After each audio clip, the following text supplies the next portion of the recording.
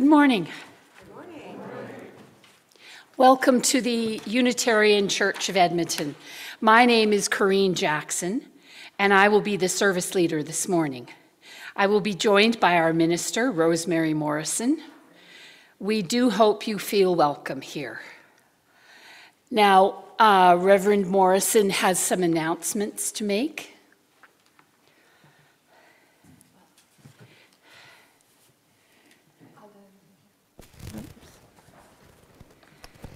So my first announcement, am I, yep.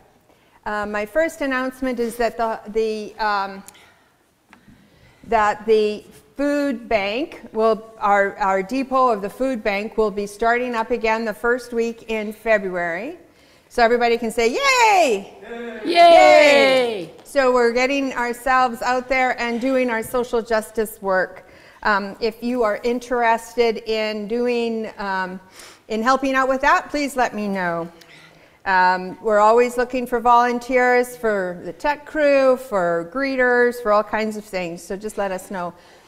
An exciting thing that's happened is we have hired a new director of religious exploration. We have hired Oksana Atwood. She starts next week. And she will be working with myself and Maria and Janet and getting things organized to have a spiffy, wonderful um, religious exploration program starting in September. She'll also be helping with some communications. Um, you should all have pebbles, four pebbles, some paper, something to draw with, and they were going to be using those during the. Um, uh, I'm speaking to the people here, and I'm going to speak to the people on Zoom. That we'll begin to use those through the meditation and children's story meditation, and then at, towards the end of the service, um, we'll be going to use those same pebbles as our pebbles of joy and concern. So for the folks on Zoom, uh, this would be a good opportunity for you to go and get some paper, something to draw on, something to draw with, and four things that can represent pebbles. If you have some pebbles nearby, that's great. You could use for lima beans, for black beans, for whatever, um, for little lids, anything that can you can have four of that's perhaps within easy reach. And I invite everyone to join along in this, in, in this time with the drawing and the pebbles and using our imagination. That's my, um, those are my announcements. And I think Andrew wants some, to say something. I'll just be quick. Um, we can't get the heat turned on, folks, so grab your coats. Uh, it's uh, chilly in here now. It shouldn't get any colder than this, but we've done what we can with the heat, and it may turn on, it may not, but uh, just uh, cuddle up and get close and, uh, and no, no. We, we, can't we can't cuddle cuddle if you've come with your plus one, but other than that, uh, just get your coats on and uh, it's going to be a little chilly this morning. Thank you.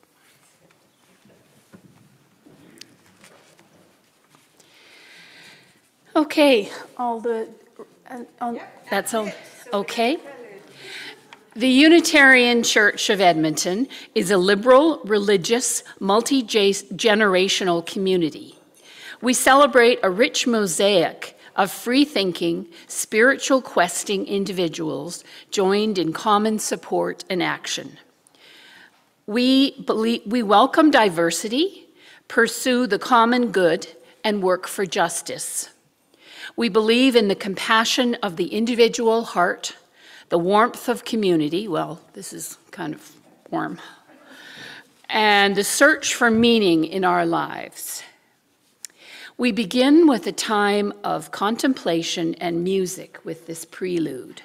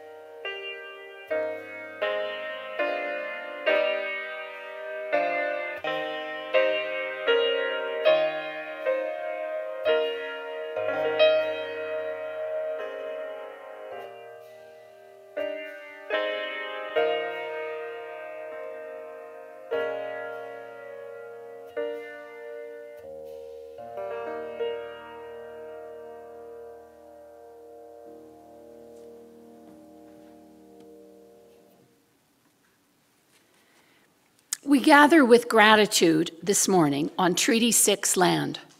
A treaty is an inheritance, a responsibility, and a relationship. May we be good neighbors to one another, good stewards for our planet, and good ancestors to all of our children. And so, as we begin this special hour together, I invite you to quiet your devices and yourselves so that we may all enjoy the service further. May we be reminded of our highest aspirations and inspired to bring our gifts of love and service to the altar of humanity. May we know uh, once again that we are not isolated beings, but are connected in miracle and mystery to the universe, to this community, and to each other. Now we will have the chalice lighting. Okay.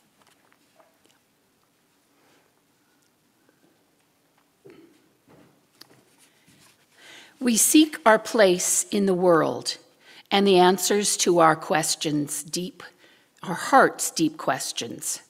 As we seek, may our hearts be open to unexpected answers. May the light of our chalice remind us that this is a community of warmth, of wisdom, and welcoming of multiple truths. Now we will have a hymn, number 346 Come Sing a Song with Me.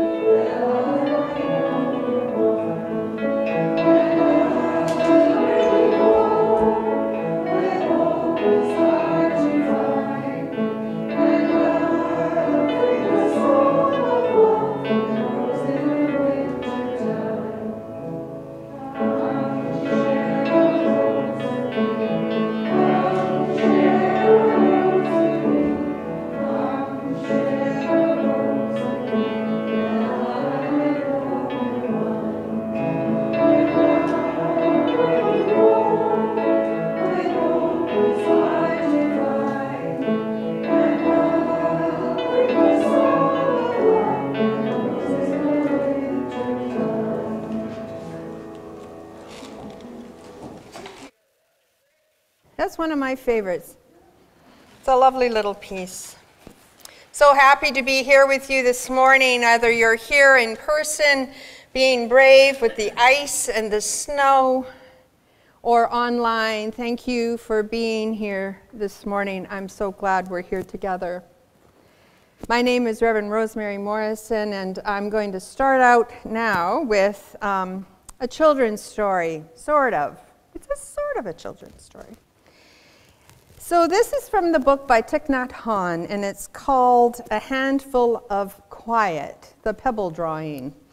So, you have paper, you have pens, crayons, and I invite you to have those. Maybe you could use your hymn book to draw on, or your lap, or something. But you will be drawing during this meditation.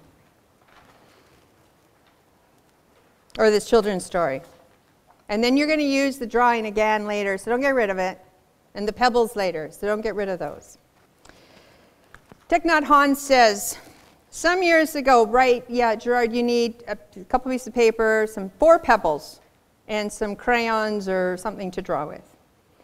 Some years ago, Thich Nhat Hanh says, I held a retreat for children in Santa Barbara. Many hundreds of children came for the retreat, and their parents were there, of course, to support them.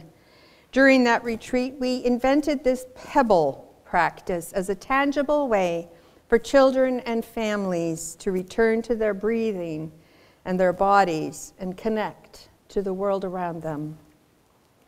Each of you should have four pebbles, a piece of paper, and something to draw with.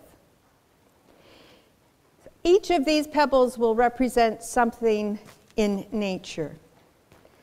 One will be a flower, the second, a mountain, the third, calm water, and fourth, space. Each image, flower, mountain, water, space, embodies a particular quality. Now choose one pebble. Examine it. Hold it in your fingers. See how it feels. And on one section of the paper, you'll need four sections. You can use both sides or get more paper, whatever you like. Draw your pebble the one you have chosen for your flower. I invite you to draw a pebble. And then in the same section, draw the flower. First, you have to think of the flower. Sorry, I missed that step. Think of a flower in your mind's eye, or a flower that you like, or a flower that you know how to draw. I only know how to draw one flower, so it would have been that's the flower I would have chosen. And in that same section with your pebble that represents the flower, draw your flower. And as you're doing this, Thich Nhat Hanh says, each of us is born as a flower.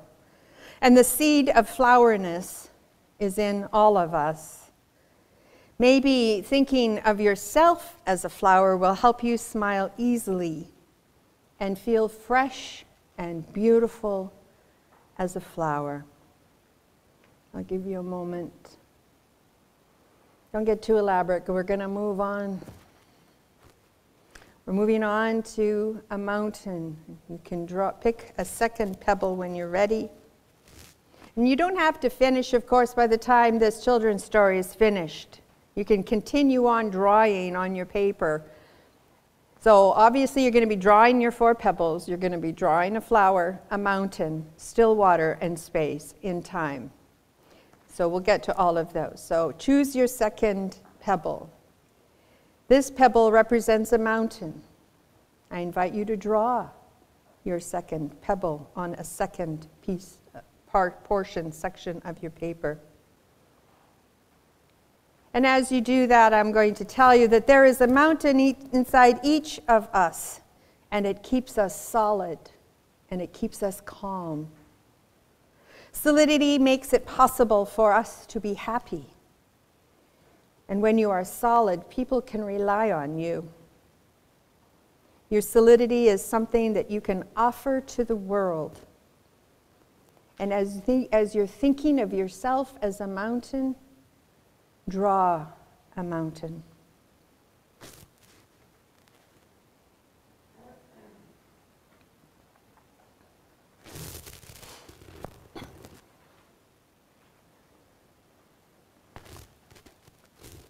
The third pebble represents calm water. Look at your pebble that is going to represent your calm water. And then draw it.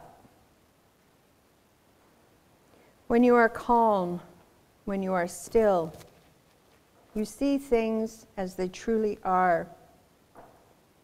You reflect. You don't distort things. When you, are cal- when you are not calm, it's easy to get confused and angry. All of us make a lot of mistakes and create a lot of suffering when we are not calm. each human being has enough tranquility to be truly happy. With the third pebble, we can cultivate stillness and calm. As you think about yourself as calm water, draw a still pond or lake alongside your third pebble. If you need more paper, please feel free to get more paper.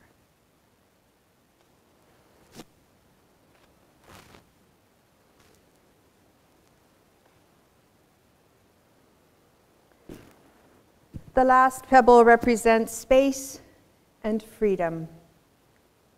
Draw your freedom pebble. Space is freedom, and freedom is the foundation of true happiness. Without freedom, our happiness is not complete. We want to be free from anger, fear, despair, and worries. All of us need some space inside and around us to be truly happy. Now, on the last section of your paper, think about yourself, your loved ones, your need for space, for freedom, and then draw something that represents space. And Thich Nhat Hanh says this is a hard one, so he gives some hints. Could be the sky, an open field, a kite, a flying bird. And then he says, try to smile as you draw freedom, space. Space, as in outer space, as in we need space around us. We need six feet.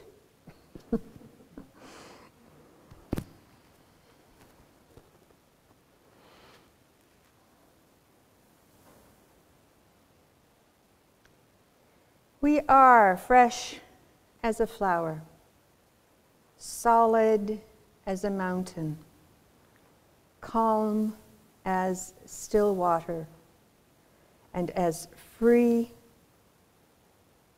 and as free as space.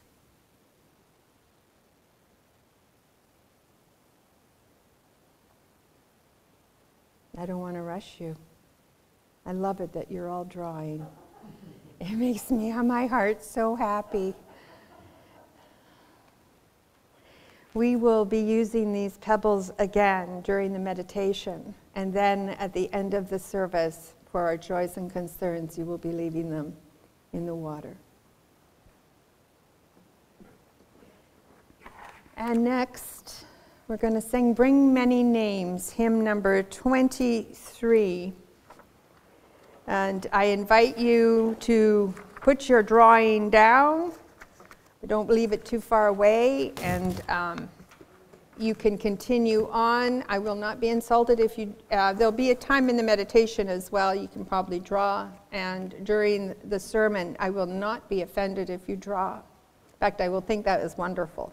So, hymn number 23 Bring Many Names Stand as you are willing and able, and as your spirit moves you.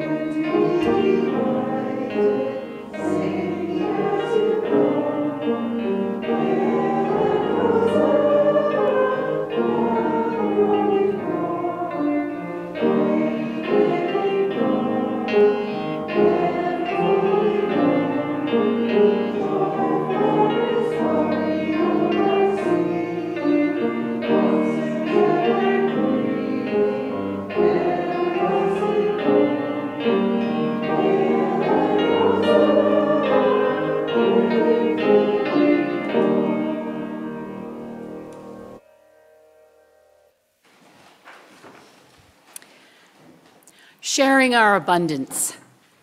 Our community is entirely self governing and self supporting.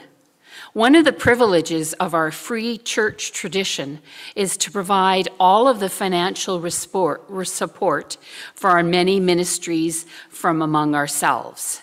Generosity, therefore, is one of the spiritual values we recognize as central to our personal and institutional well being. In addition to supporting this church community, we also make a, a, monthly commitment beyond our walls. One half of the unidentified cash that is received is given to an outside organization. Some are local, some are national, some international. For the month of January, we are sharing our abundance with Change for Children. For 45 years, Change for Children has promoted health and human rights by championing, championing creative solutions to poverty through sustainable development. For those in the sanctuary, you can use the envelopes found in the inside cover of the hymn book if you wish to receive a tax receipt for your gift. Please indicate on the envelope your contact information so that we can send you a tax receipt at year end. Many of our members and friends give monthly or annually through automatic withdrawal from their accounts. Our offering plates are located near each of the exits. Those in the sanctuary can leave a donation at the end of the service. For those of you online, we encourage you to visit the um, Change for Children's website to make a donation. We thank you for your generosity and your support. With our time and talents and our money, we support the work of the community and this Unitarian Universalist tradition. Let us join in singing From You I Receive.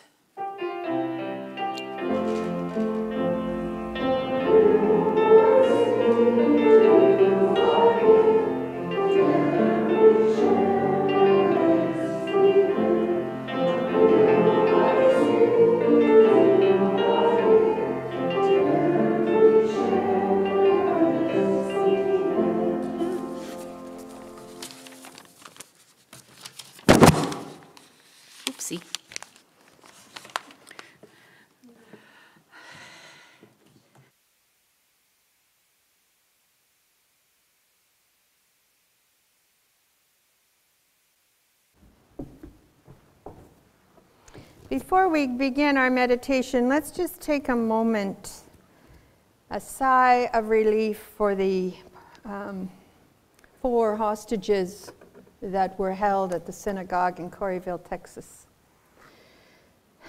and sorrow for the pain that the hostage taker must have been in to commit such an act, and our sorrow that he has died. Just take a moment. Remember those involved, and what that must have been like for them. And then I invite you to open up your teal hymn book to number 1008, Meditation on Breathing. You probably know this hymn, so like open it up, put it upside down on your lap if you like. 1009. I can't type. 1009. Thank you. Thank you, Rich. Thank, thank you, Gordon.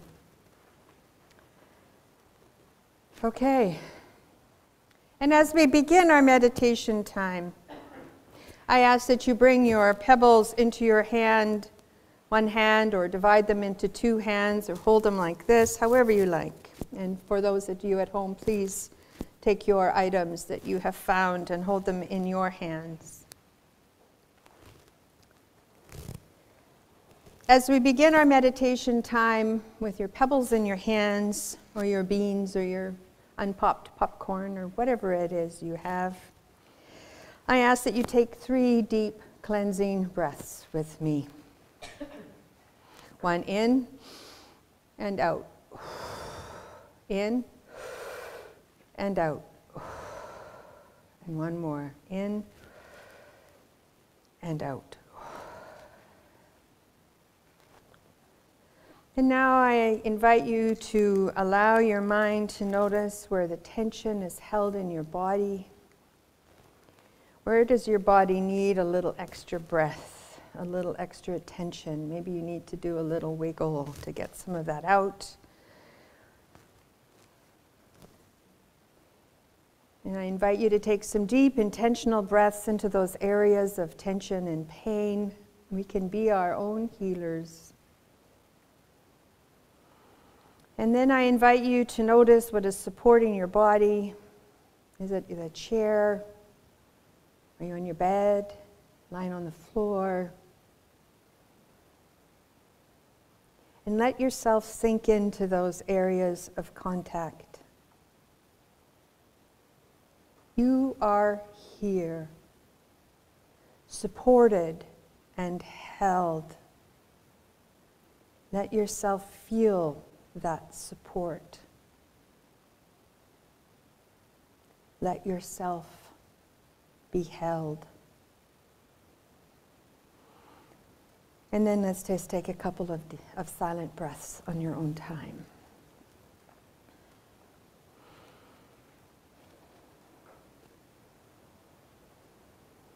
Now I invite you to put your four pebbles into your left hand. And then pick the pebble that was the flower, or if you remember, or any pebble. And then say silently to yourself, I'll say it once and then we'll say it twice together, and you can do it silently or, or aloud, your choice. Breathing in, I see myself as a flower. Breathing out, I feel fresh. Flower, fresh. And together.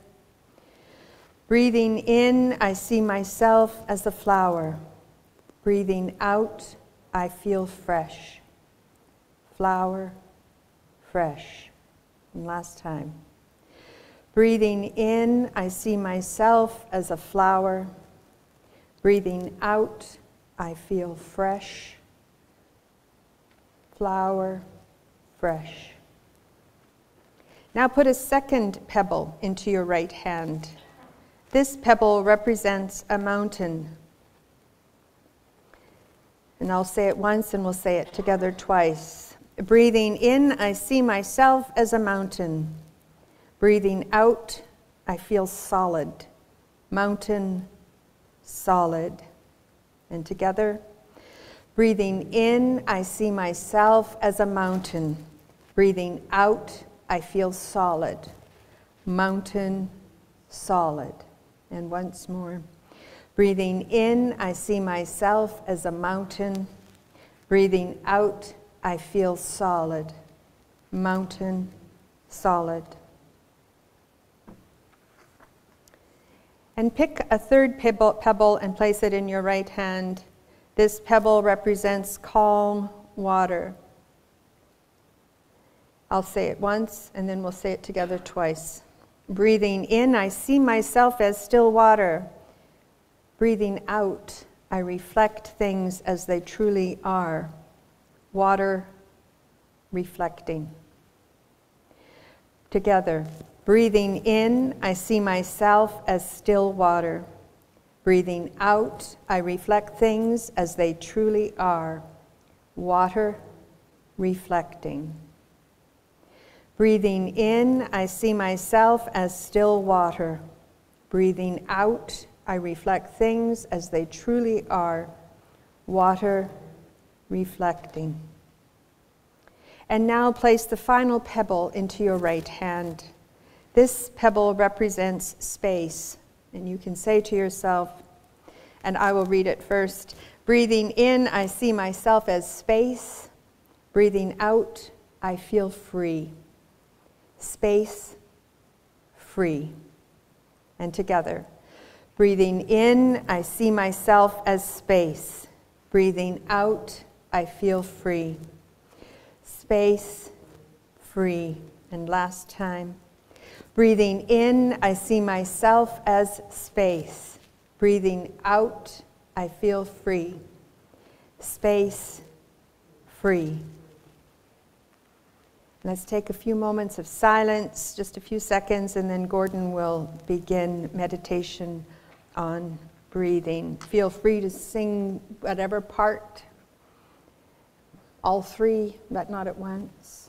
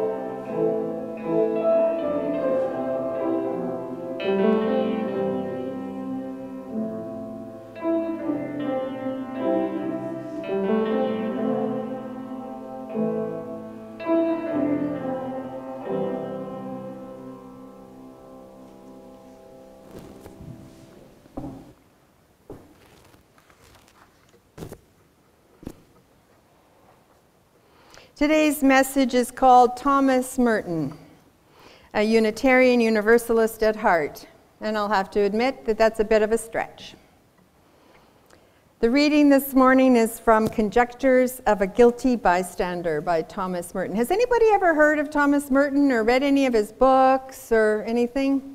Yep, a few people. This is kind of one of his most famous quotes. In Louisville, at the corner of 4th and Walnut, in the center of the shopping district, I was suddenly overwhelmed with the realization that I loved all these people, that they were mine and I theirs, that we could not be alien to one another even though we were total strangers. It was like waking from a dream of separateness, of spurious self isolation in a special world. This sense of liberation from an illusionary, illusory difference was such a relief and such a joy to me that I almost laughed out loud. I had the immense joy of being a person, a member of the human race. It was as if the sorrows and stupidities of the human condition would overwhelm me. Now that I realize that we are, now, I now that I realize what we all are, and if only everybody could realize this, but it cannot be explained. There is no way of telling people that they are all walking around shining like the sun.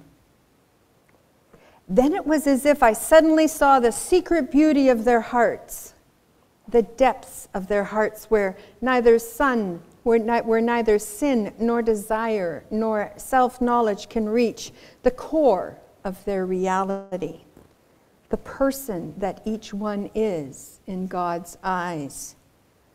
If only they could all see themselves as they truly are. If only we could see each other that way all the time. There would be no more war, no more hatred, no more cruelty, no more greed. But this cannot be seen, only believed and understood by a, partic- by a peculiar gift. End of quote. If you are ever in my office, you will notice that there is a whole shelf dedicated to Thomas Merton. I have his famous prayer framed with his picture, along with six or seven books, either by him or about him. I also have three more on my Kindle. I have been taken with him from my first visit to Vancouver School of Theology. When I first started at VST, they, they were still in what was affectionately called the castle, a huge building overlooking the ocean. And from the top classroom, we could see far and wide, and often bald eagles flew by at our eye level a truly magical and wonderful place. And I was extremely sad when they sold it to UBC and we moved out. My first visit to the, the library at VST hand, landed me square in the Merton reading room. I'd never heard of him before that moment. There was this, this picture of a smiling, jovial monk next to a smiling Dalai Lama. I recognized him. I have since learned that the library at Vancouver School of Theology has the second largest collection of Merton works in the world. Louisville, Kentucky, of course, where he lived, houses the largest collection. But who was this enigmatic man, and why am I wanting to talk to you about him? I'd like to give you first a brief history of his life and contributions, and then I'd like to explore his trip to Asia where his response to visiting the, um, I can't say the name, it's about that long, but the, the reclining Buddha's st- statues in what is now Sri Lanka. Then let's figure out why this is actually important, or at least I'm going to let you know why it is important to me and implications for us as Unitarian Universalists. Thomas Merton was born in Prades, France in January of 1915, and I always think of him in January. His parents were both art students in Paris, and they met in 1911.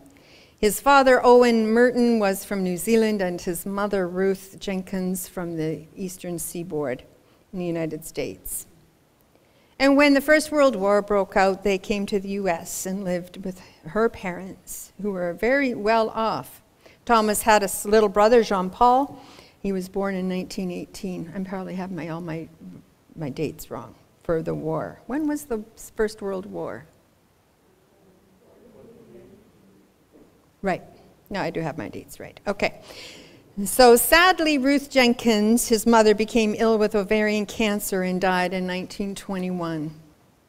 After his mother's death, Thomas's life became very unsettled and ungrounded. And my belief, in fact, is that he never really got grounded again until that fourth and walnut experience that I just read to you. Merton lived with his father in Bermuda, who was living, living a free bohemian lifestyle, and Thomas didn't very often get to school. Besides living with his grandparents, his father went going to prep school and boarding school. He contracted tuberculosis, and then his father died from a brain tumor in 1929. He was only 14 years old. Thomas spent time with his father while he died, and it was in this time that he first was pointed to the direction of spiritual things. His father, an artist, began drawing, Merton writes. His drawings were unlike anything he had ever done before. Pictures of little, irate, Byzantine looking saints with beards and great halos. While Merton's father was dying, Thomas's grandfather set up trust monies for both he and his younger brother. It was with this money in his pocket, and as an orphan, he set off to school. He went to Cambridge and had a very difficult time there. He drank a lot, went to nightclubs, got into trouble. He got a woman pregnant, and the woman was paid off by his grandfather, an idea that was abhorrent to us in this day and age. He came back to the United States shamed, and his grandfather never forgave him nor spoke to him again. Then his grandmother, his only ally, died in 1936 and it was just him and his little brother. In 1939, he received a Master of Arts degree from Columbia for his study of nature and art in William Blake. And it was during his time at Columbia University they got hooked up with the um, Catholic Workers Movement with Dorothy Day. He was working in Harlem at her soup kitchen and the Friendship House.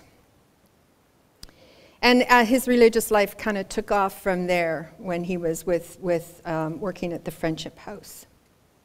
And he converted to Catholicism. And war was then breaking out again in 1941, and the, uh, at the same time, the idea of being aesthetic, aesthetic, or a monk, I should say, became entrenched in his mind.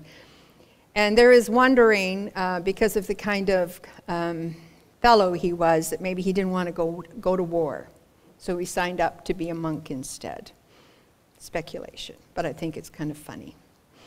His monastic name was Brother Mary Louis, and he was simply called Brother Louis, and when he was fully ordained, Father Louis. His only relative, his brother, joined the Canadian Air Force and was killed while serving in Europe. In 1948, his autobiography came out, The Seven Storey Mountain, and it was an instant hit. And um, I don't know if any of you remember, have read that book. I've, I've read it, and um, it, it was a best selling book at that time it wrote. It has sold millions of copies. I think people were really interested in this young, um, really interesting, young, lively man who decided to become a monk. And because of his book, Gethsemani, the, the monastery where he lived in uh, Louisville, Kentucky, just became inundated with young monks. They could not find enough room for them, and it was said um, that they had monks in closets or postulants in closets trying to, and lining the hallways. So, and in uh, Firewatch, one of his books, Merton describes all the novices sleeping in the corridors as he makes his way around the abbey. So that was one of his jobs at the end of the day, going around and making sure all the fires were out and everyone was safe. Merton never knew if he wanted solitude. He begged for solitude. He begged for a hermitage. He begged for his own space. He was given a woodshed that he called oh, I forget what it was called. But, anyways, he was given this little woodshed first, and then he was given a hermitage. And then, as soon as he got these things, he decided he wanted to travel. And when I think of Merton, I think of someone who has had so much upheaval, tremendous loss, trauma, in, and, and was shamed for, by his grandma, grandfather for kind of acting the way that, well, I know that uh, I certainly don't judge him because I can think of the way I behaved at that age. He was reeling from being on his own.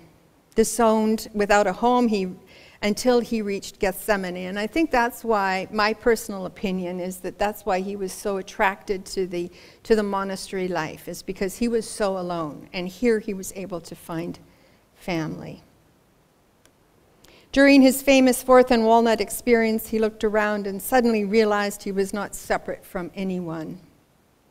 Rather, everyone was inherently connected and therefore worthy of love, our first principle in action. Until then, he'd felt separate, distant, and was unable to find the compassion within himself to speak out.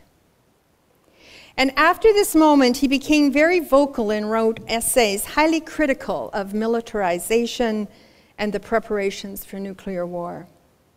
These essays were published in various journals, and he somehow got them uncensored over the abbey walls. And he had people in the communities around that would come by, and he would kind of toss his manuscripts over the walls, and then they would get published. He got into a lot of trouble over this, but it did not stop him from writing out against injustice and violence in all of its forms. In fact, in 1962, Merton received a letter from the Dom Gabriel Sortais in Rome, the Trappists abbot general, forbidding him to publish books or further essays on war and peace. And they still got published. By this time, he was corresponding with D.T. Suzuki, the Dalai Lama. Thich Nhat Hanh was visiting him regularly, and many religious leaders. He was um, Martin Luther King, whose birthday is this weekend as well. Uh, he was his, one of his spiritual advisors, and also this brothers, Bran- Brannigan, Brannigan brothers, that were very, very vocal and um, active uh, against the Vietnam War, and the Brannigan brothers came and visited him regularly uh, for spiritual sustenance. It was said of him that he was the wind that propelled many of the anti Vietnam War movements. And here's my most favorite story about him. In 1966, he had to have back surgery due to persistent back pain. He was assigned a student nurse identified in his biographies only as MS. They fell in love, and they were somehow able to correspond and see each other even after Merton's return to the monastery. This relationship lasted for almost a year. We only have Merton's side of the story. She was shielded and never told her story. He says in his writings that it was the first time in his life he truly felt loved and felt worthy of receiving love. Apparently, the abbot was away for a lot of the time the affair went on. But after he returned, he instructed the monk at the switchboard to begin listening in to the conversations between the two. He got into trouble again and realized he had to terminate the relationship. It didn't keep him from publishing. He put, published two books that year. And he loved to travel. And between 1967 and 1968, he traveled to New Mexico, Alaska, Santa Barbara, and San Francisco. He then went to Asia, where he went to India, Sri Lanka, and Thailand, having three meetings with Dalai Lama in November of that year. And he was moved greatly while traveling and visiting the temples and shrines. On December 10th, in a conference center near Bangkok, Merton died in between lectures he was giving at a meeting of Asian Benedictines and Cistercians. He had been a monk for 27 years, and how he died was interesting. He left the morning lecture, and this lecture was the very first lecture that he ever allowed to, was ever allowed to be videotaped. It's the one and only. There's hundreds of cassette tapes, thousands of him um, teaching. He was one of the main teachers at Gethsemani. But this was the only actual videotape of him. And he finished his first half of his, of, of his um, lecture and he said, Let's all go get a Coke and then he left. went to his room. He took a shower and grabbed the standing fan close to his pallet to keep him cool while he napped. There was faulty wiring in the fan, and he was electrocuted by it. Some say it was suicide, others, an assassination of the CIA. People were really wanting him to be quiet. However, the monks at Gethsemani were not surprised by this accidental death. They reported that he, they were surprised that he hadn't killed himself earlier because he was such a klutz. As such, they uh, would not allow him to use any machinery or drive the Jeep. While in Sri Lanka, he driv, visited the, the, I'm going to try to say it. I'm not good with words that are long. No, I'm not going to try it.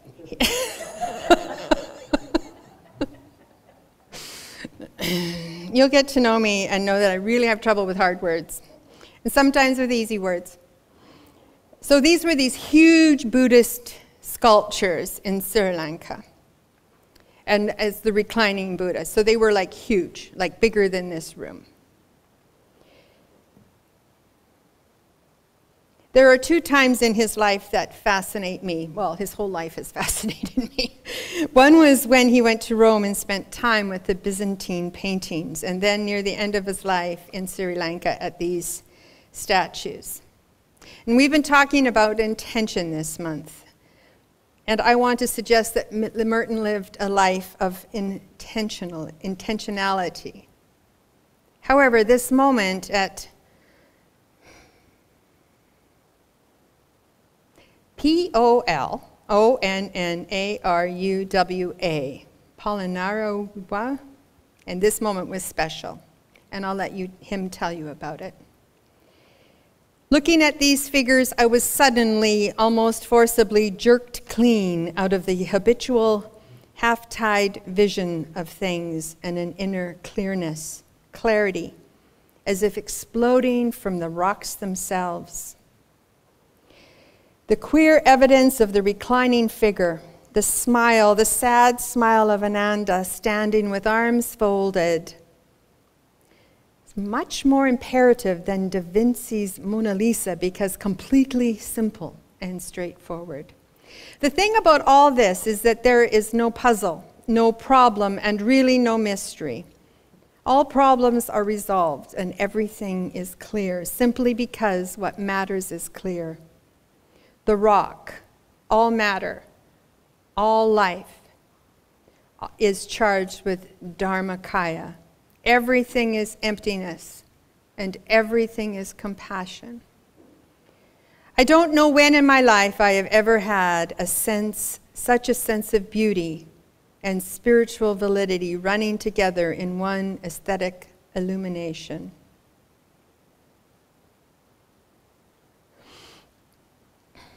I don't know what else remains, but I have now seen and have pierced through the surface and have gone beyond the shadow and the disguise. The whole thing is very much a Zen garden, a span of bareness and openness and evidence, and the great figures motionless, yet with the lines in full movement. Waves of vesture and bodily form, a beautiful and holy vision. End of quote. What he was able to come away with was the intention of the statues, what they represent, the sincerity and devotion of those designed, those that designed and those that worked on them.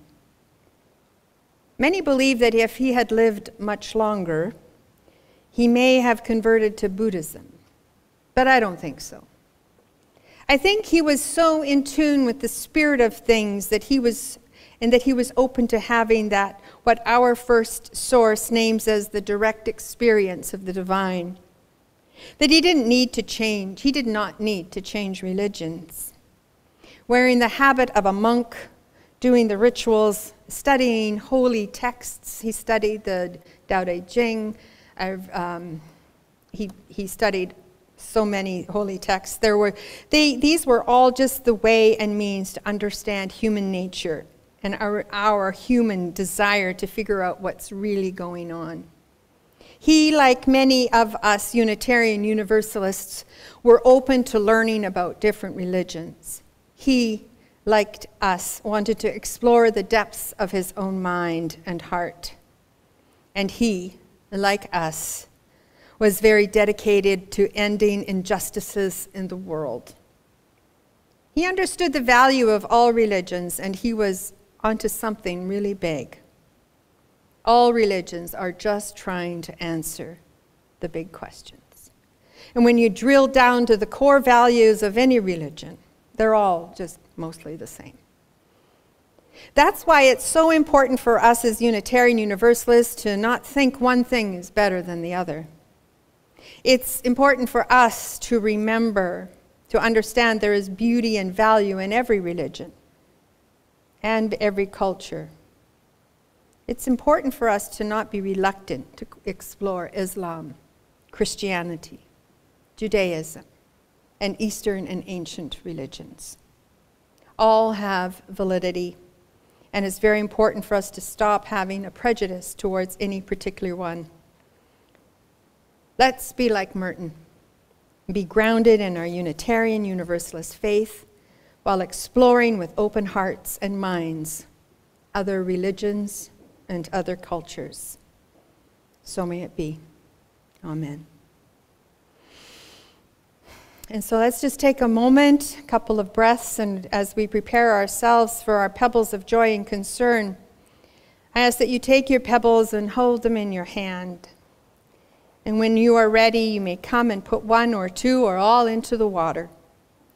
For you folks on Zoom, this is your opportunity to put your joys and concerns into the chat.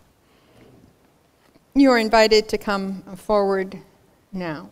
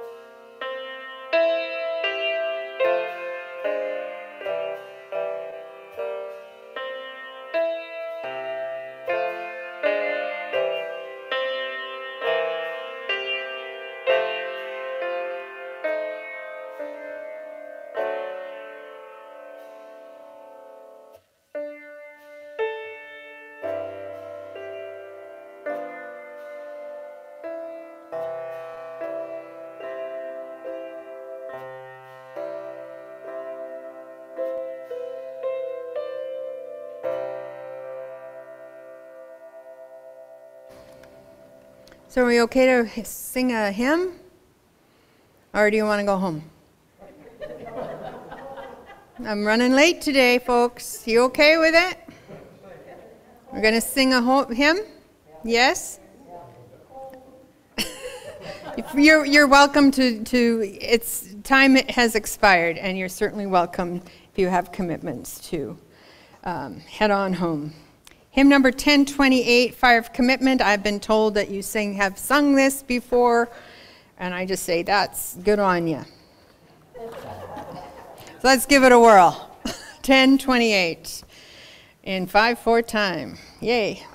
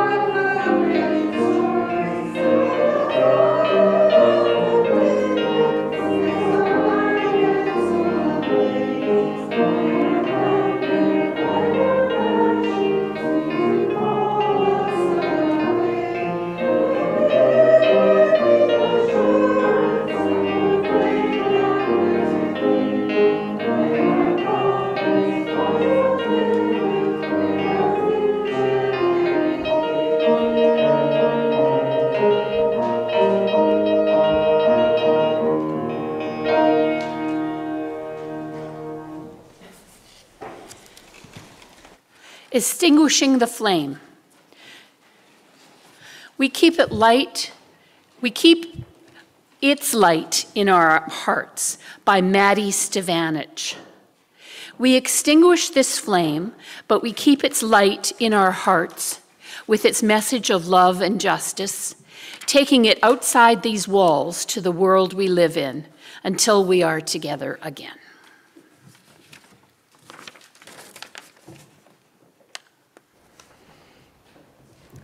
Am I okay here for the camera? Yeah. I'd like to thank everyone that contributed to this service. Oh, thanks, Corinne. Um, really appreciate you coming in person and being here online with us, being on the tech team, greeters, piano players, singers, drawers, worship associate, service leader.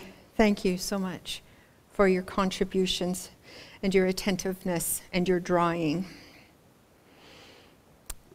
Our closing words are by Thomas Merton. What else? Our job is to love others without stopping to inquire whether or not they are worthy. That's not our business. And in fact, it's nobody's business. What we are asked to do is love And this love itself will render both ourselves and our neighbors worthy.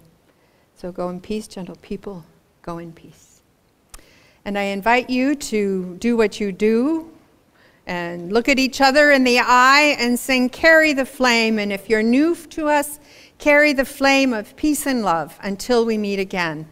And we pretend we're holding hands, but we don't.